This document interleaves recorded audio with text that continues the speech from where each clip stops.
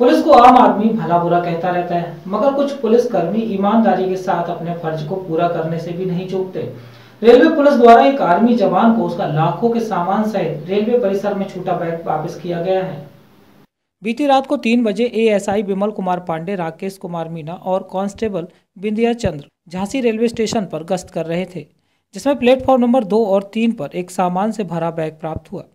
उसके बाद गश्त करने वाली टीम ने यात्रियों से पूछताछ की, लेकिन बैग का मालिक नहीं मिला।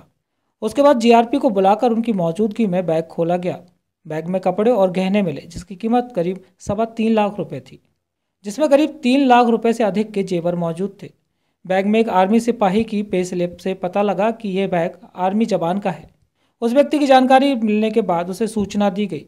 आर्मी का युवक भोपाल तक ट्रेन से पहुँच चुका था, जिसके बाद वह वापस आया और जवान आरपीएफ थाने आया और बैग पाकर काफ़ी खुश हुआ। हाँ करीब साढ़े तीन लाख रुपए का आइटम है। उसके बाद उस बैग को लाके हम लोग सुरक्षित। फिर उसमें एक पे स्लिप मिली। जो पे स्लिप किसी आर्मी की थी। उसको लाके एमसीयू पे चेक कराया गया। तो उन्होंने बोला ये यहाँ सूचना दिया आर्मी कैंप में। आर्मी कैंप से एक लांस नायक मिस्टर दास जी उपस्थित हुए। उन्होंने बताया कि ये हमारे यूनिट का जवान है जिसका ये बैग छूटा है। तो उन्होंने उस यूनिट के जवान को या यूनिट के माध्यम से जवान को सूचना गई।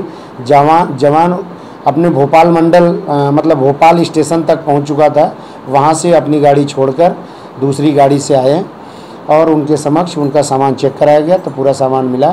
करीब बता रहे हैं साढ़े तीन लाख रुपए का सामान है, जो जो मुझे सुरक्षित मिल गया न्यूज़ बीके के लिए झांसी से अरबाज दानिश के साथ मनीष अली की रिपोर्ट।